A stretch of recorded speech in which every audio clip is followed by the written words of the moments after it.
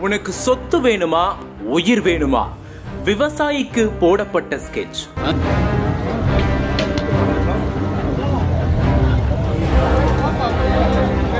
நடு ரோட்டில் மிளகாய் பொடி ட்ரீட்மெண்ட் அதிர்ந்து போன காக்கிகள் திகிலடிக்கும் கிருஷ்ணகிரி.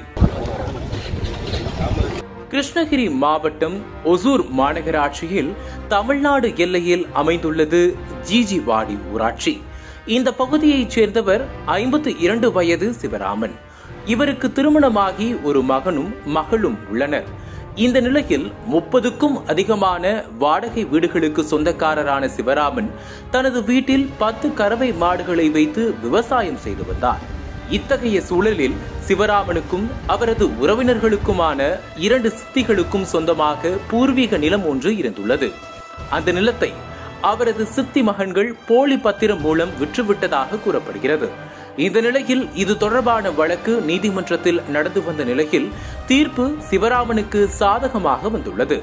இதனால் இவர்கள் ஒன்றாக செல்லும் குடும்ப நிகழ்ச்சிகளிலும் சொத்து பிரச்சனைகளிலும் இவர்களுக்குள் ஏற்பட்ட தகராறு தொடர்ந்து நீடித்து வந்துள்ளது. இதற்கிடையில் கடந்த சில மாதங்களாக சிவராமனுக்கும் சித்தி மகன்களுக்கும் ஏற்பட்ட தகராறு உச்சக்கட்டத்தை எட்டியுள்ளது. இதையடுத்து கடந்த எட்டாம் தேதி காலை எட்டு மணி அளவில் சிவராமன் தனது தோட்டத்தில் உள்ள மாடுகளுக்கு தீவன புல்லை வாங்கியிருந்தார். அப்போது அவர் தனது ஆம்னி காரில் ரோஜா கார்டன் எனும் பகுதியில் வந்து கொண்டிருந்த போது திடீர் என டூ வீலரில் வந்த இரண்டு பேர் சிவராமனை வழிமறித்துள்ளனர். இத்தகைய சூழலில் சிவராமன் சற்று சுதாரிப்பதற்குள் அவரது முகத்தில் மிளகாய் பொடி தூவி உள்ளனர். ஒரு கணம் அதிர்ச்சியடைந்த சிவராமன் அங்கிருந்து தப்பியோட முயற்சித்துள்ளார். ஆனால் அவரை சுற்றி வளைத்த அந்த இரண்டு மர்ம நபர்கள் தாங்கள் மறைத்து வைத்திருந்த கத்தியால் சிவராமனை சரமாரியாக வெட்டிவிட்டு அங்கிருந்து தப்பி ஓடி உள்ளனர். மேலும் இதில் பலத்த காயமடைந்த சிவராமன் சம்பவ இடத்திலேயே பரிதாபமாக உயிரிழந்துள்ளார். இதையடுத்து சம்பவ இடத்திற்கு வந்த சிப்காட் போலீசார் சிவராமனின் உடலை கைப்பற்றி பிரேத பரிசோதனைக்காக ஒசூர் அரசு மருத்துவமனைக்கு அனுப்பி வைத்தனர். அதன் பிறகு தகவல் அறிந்த சிவராமனின் குடும்பத்தினர் அவரது உடலை பார்த்து கண்ணீர் விட்டு கதறி அழுதனர். இந்த நிலையில் சிவராமனின் மகனான மாதுகுமார் என்பவர் போலீசில் ஒரு புகார் அளித்திருந்தார்.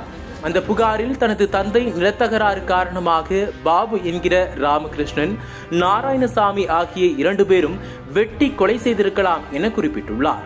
அதன் பேரில் இந்த சம்பவம் குறித்து வழக்கு பதிவு செய்த போலீசார் சொத்து தகராறில் சிவராமனை உறவினர்களே வெட்டி கொலை செய்தார்களா அல்லது கூலிப்படை வைத்து தீர்த்து கட்டினார்களா என்கிற கோணத்தில் தீவிர விசாரணை நடத்தி வருகிறார்கள்.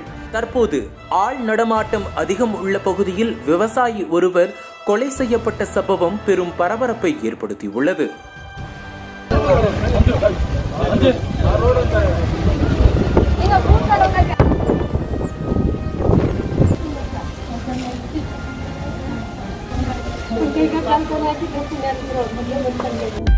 அனல் பறக்கும் செய்திகளை அப்டேட் செய்து கொள்ள நக்கீரன் களத்தை இப்பவே சப்ஸ்கிரைப் பண்ணுங்க.